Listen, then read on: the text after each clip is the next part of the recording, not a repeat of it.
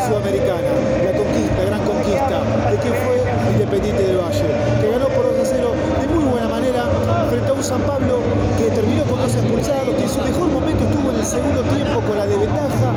El equipo de Martínez Selmi, a ver, la verdad lo jugó con un oficio que no debería sorprender.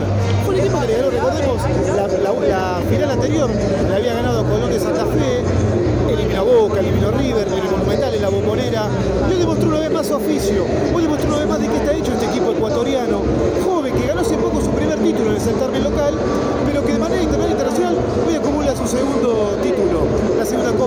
Comebol Sudamericana. Jugará la recopa del año que viene frente al ganador de Flamengo y Atlético Paranaense. Y la verdad que el equipo de Martina Selvi de principio a fin, como dijimos antes, con oficio, con orden, con sacrificio sobre todo con muchísimo fútbol.